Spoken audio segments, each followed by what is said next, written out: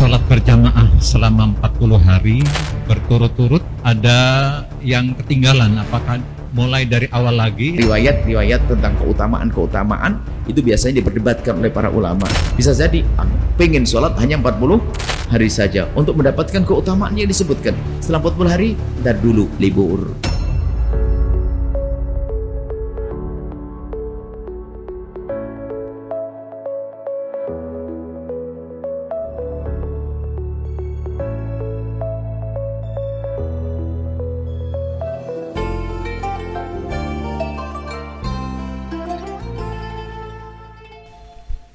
Assalamualaikum warahmatullahi wabarakatuh. Waalaikumsalam warahmatullahi wabarakatuh. Alhamdulillahirabbil alamin. Allahumma shalli ala sayyidina Muhammadin wa ala ali sayyidina Muhammad. Salam.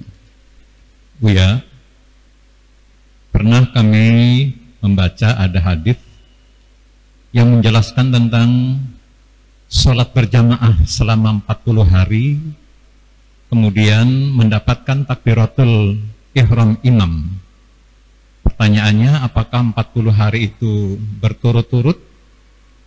Dan bagaimana apabila dari 40 hari itu ada yang ketinggalan? Apakah mulai dari awal lagi atau bagaimana, Bu? Terima kasih. Riwayat yang sudah disepakati oleh para ulama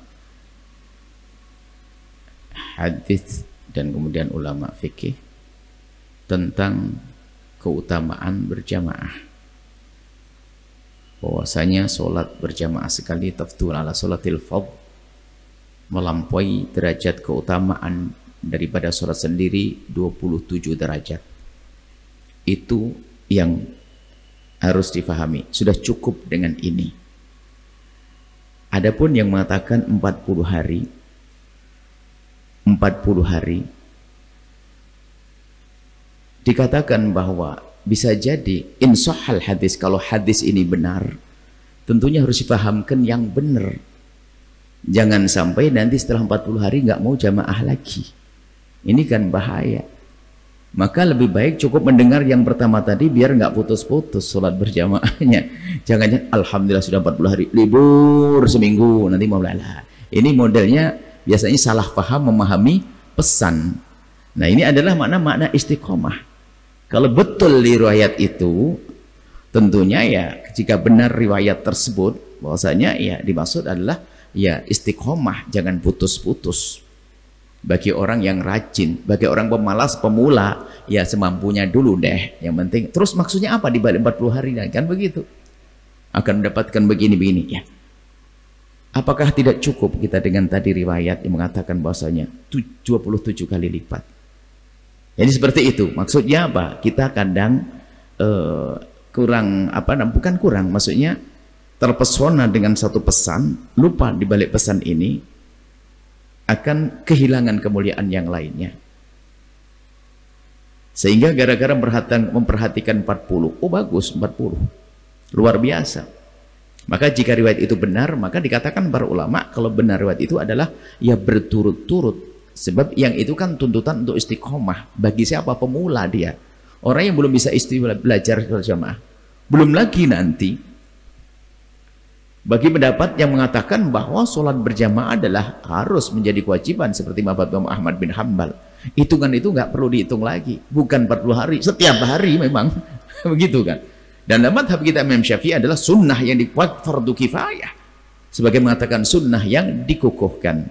Jadi anda uh, tunda dulu untuk membicarakan hadis ini. Anda cukup kembali kepada hadis yang bahwasanya solat berjamaah secara riwayat adalah yang melampaui daripada solat sendiri 27 derajat. Kemudian setelah itu kita yakini bahwa itu adalah fardu kifayah ya. Sebagian mengatakan sunnah yang dikukuhkan ini ini ini inilah agar kita memotivasi kemudian kita harus paham bahwasanya di sana ada madhab yang mengatakan wajib. Kalau tidak berarti dosa. Dengan begini kita akan berbondong-bondong untuk melaksanakan sholat berjamaah. Seperti itu. Itu yang perlu kita tonjolkan.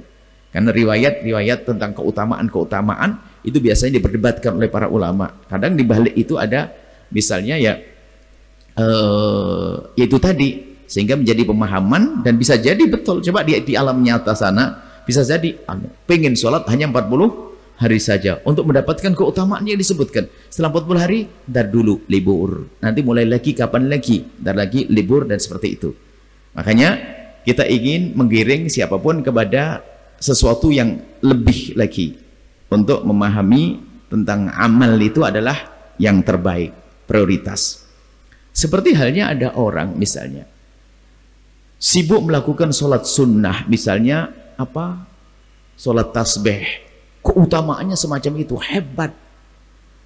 Diampuni dosanya tapi nggak bisa mengalahkan sholat ba'diyah isya. Lah aneh sholat tasbih nggak sholat ba'diyah isya. Karena dia terpesona dengan fadha'il yang disebutkan lupa. Ba'diyah isya martabatnya mendekati sholat fardu. Sholat raweh Orang melakukan sholat tarawih, banyak sholat tarawih tidak ba'diyah isya. Padahal ba'diyah isya lebih bagus daripada sholat tarawih. Memahami makna prioritas itu.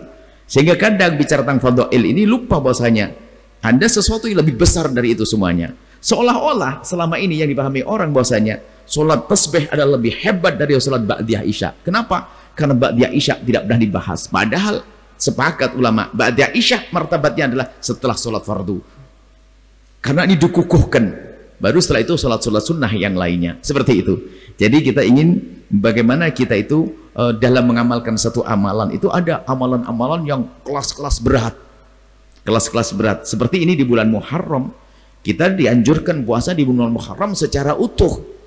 Sudah lupakan dengan keutamaan utama tanggal 1, 2, 3 yang ulama berbeda tentang riwayatnya. Yang jelas 10 Muharram Ashura Anda harus bisa berpuasa karena itu sunnah yang sangat dikukuhkan. Didahului tanggal 9, kalau tidak bisa ditambah dengan tanggal 11. Seperti itu. Jadi kita ingin dikirim kepada yang lebih utama lagi. Ingat, sholat berjamaah. Kita ini madhab syafi'i, itu paling trader kayaknya madhab sholat berjamaah. Wong tahu madhab syafi'i sunnah dikukuhkan, kan sunnah. Begitu ya, ini enteng. Kan cuma sunnah. Apakah kita harus kembali kepada madhab Imam Hambali, mengatakan wajib? Sebetulnya kan, padahal dengan keutamaan yang disebutkan 27 kali bergegas orang. Yang sholat berjamaah, kita sering trader sholat berjamaah. Sehingga masjid kita sepi, musola kita sepi. Karena apa? Sholat jamaah hanya sunnah. Ngomong fardu kifayah pun, karena ada dua pendapat kan. Fardu kifayah sunnah mu'akata. Disembunyikan tidak? Jangan fardu kifayah. Kalau fardu kifayah, kan sudah ada yang sholat di masjid. Nah, kita perlu kembali bagaimana kita peduli dengan dengan amal-amal yang memang sudah dikukuhkan itu. Biarpun kita juga boleh mendengar fadha'il dan kebanyakan bicara tentang fadha'il fadha'il itu adalah banyak riwayat-riwayat yang dipertanyakan oleh para ulama hadis. Makanya dalam kajian kita selalu kita utamakan satu riwayat yang sudah pasti supaya nanti nggak perlu diperdebat lagi tentang kesahihannya. Maka cukuplah dengan keutamaan Muharram misalnya yang kita sebutkan bahwasanya Allah afdal siyamu atau Ramadan siyamu siyamu siyamullah syahrillah siyamu syahrillah Muharram. Sebaik-baik puasa setelah bulan Ramadan bulan Muharram selesai. Enggak usah kita kembali kepada tanggal satu padilahnya begini. Khawatir itu adalah riwayat palsu dua begini dan sebagainya. Baik ini saja insya Allah jadi kalau anda 40 hari plus 40 hari plus 40 hari plus terus sampai mati. Jangan 40 hari tok selesai. Seperti itu wallahu a'lam bisawab